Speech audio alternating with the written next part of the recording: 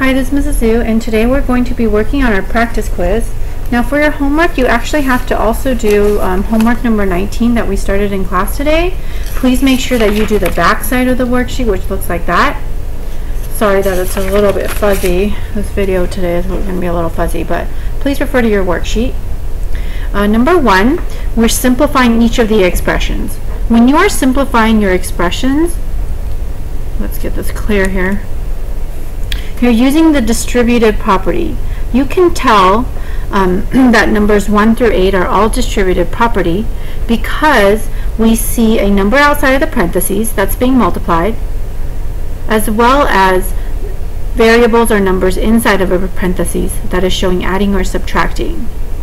That's a little different than number 9, for example. Number 9, you see a division sign between the parentheses and then the 5, and so what we're not doing is we're not doing multiplication like we do with distributive property for 1 through 8. In distributive property, you share by multiplying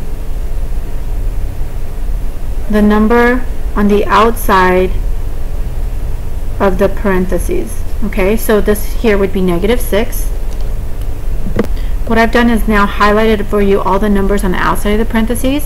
So I'm going to do a couple rainbows. So I'm going to do negative 6 times x. And when I do the first arrow rainbow, I would multiply that. I would get negative 6x.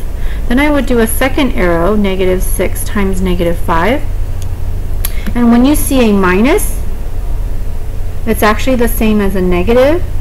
So instead of leaving it behind, maybe possibly forgetting to bring it down as you do the problem, you can go ahead and bring it over right at the beginning. So we're going to do negative 6 times negative 5, which will give us 30, and that's positive, which actually is going to create that plus sign in between the two terms. So negative 6x added with 30 is simply just negative 6x plus 30, and we don't want to do anything more to that problem because I'm so sorry. I'm so sorry. Number one, you cannot add the negative 6x with 30 because 6 has an x, but 30 does not. Okay, then we have number 5. We're going to multiply the 8 with the 5, so that's our first rainbow. 8 times 5 is 40. Then we're going to do our second rainbow arrow, 8 times 7m. 8 times 7m is the same as 56m. So I'm going to write that next to the 40, but I'm going to write at a positive sign in the middle, which is really a addition sign. And I'm going to leave it like that because I cannot add a 40 with a 56m since 40 doesn't have an m. Let's try number 8. We're going to distribute the negative 2 with the negative 4k. So we're going to multiply negative 2 times negative 4k. That will give me positive 8k. Positive. I could put a positive or choose not to. Then I'm going to do the second rainbow arrow, which is negative 2 times negative 5. Remember that minus is going to um, attach with the 5 as a negative 5, and there's a negative 2 there as well. So as I multiply negative 2 and negative 5, that's going to give me positive 10.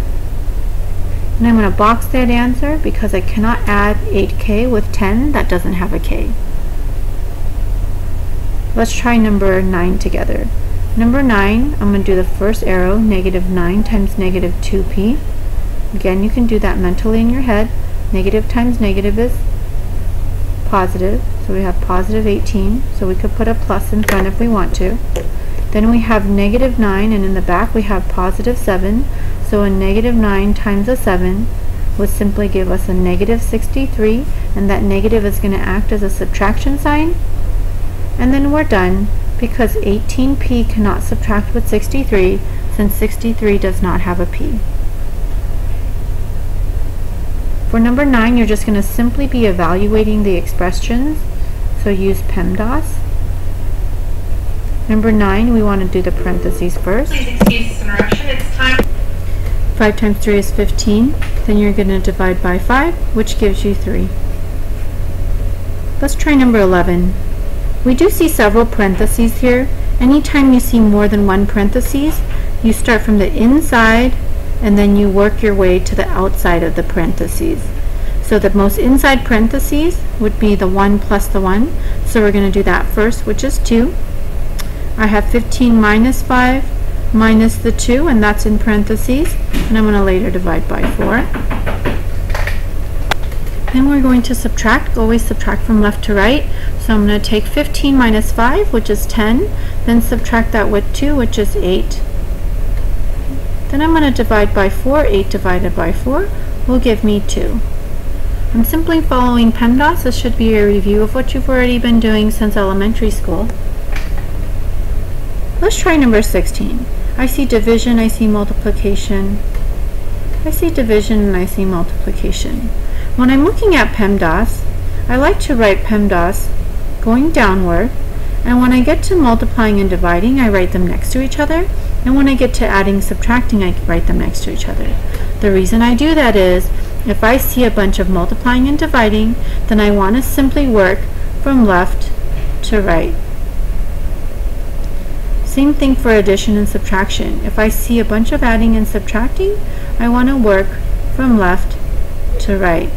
So in number 16, there's division, multiplication, and so I'm simply going to work from left to right and divide and multiply as I go. So 4 divided by 2 is 2. Then I'm going to multiply that with 12, then divide 3, then multiply 6. I like to write each step by bringing the number below it so that I can clearly follow each of the steps correctly. So in number 16, I'm now going to multiply 2 and 12, which is 24, then divide 3, then add, multiply 6. I'm going to keep going. 24 divided by 3 is 8, then times 6. My final answer will give me 48. I don't need to write any equal signs here. I would advise um, not to, so I don't have uh, those equal signs confusing us in any way. We're simply taking the expressions, evaluating them, or we can also say that we're simplifying the expression.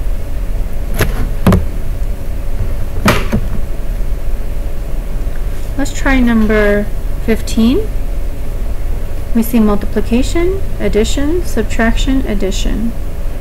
I'm going to first do the multiplication first in PEMDAS.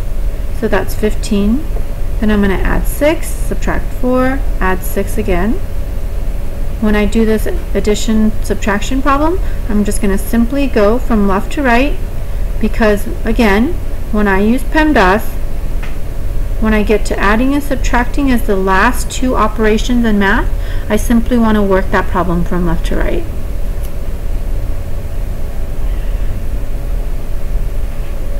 So I'm going to do 15 plus 6, which is 21. Subtract 4, then plus 6.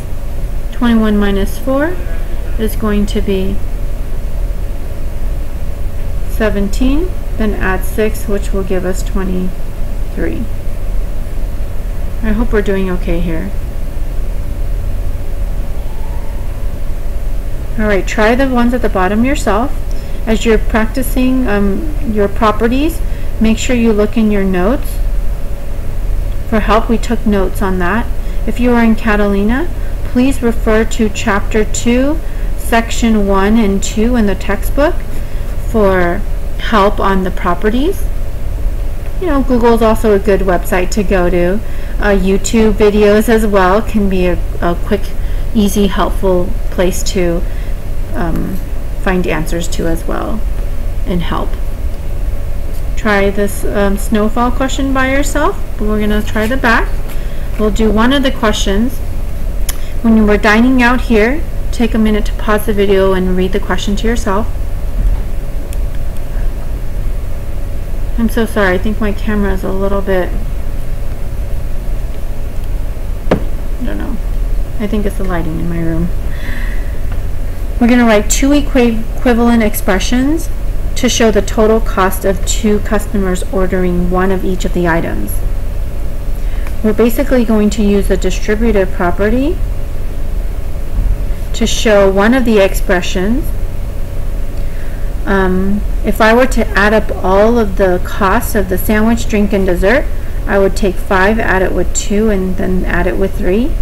Then I could take the quantity of that uh, sum and then multiply it with 2 of the customers. And so I would get an e expression that looks like 2 multiplied by the sum of 5, 2, and 3. That's one expression, and that would show distributed property. Another expression I could write is I could take the number of sandwiches, two sandwiches times five dollars, and I'm going to add that with two drinks times the two dollar drink, plus two of the desserts that cost three dollars. So basically I multiplied each of these by two of the items. This was the cost of the first item, two for the drink, three for the dessert. This could be another expression that could result in an uh, expression for the total cost. So what is the total cost for the, each of the customers? Well, I can simply either take the first expression, I can use PEMDAS. So if I add the everything in the parentheses, I'll get 10 multiplied by 2 and get $20. Or I could take this expression and do PEMDAS and get 10 plus 4 plus 6 which will also give me $20. So again, I know with the Common Core standards, a lot of what we're doing is showing work in different ways, as well as understanding with precision how to tackle these problems and when to use certain tools and strategies to do so. Please make sure that you also finish the back side of the homework number 19, which looks like this.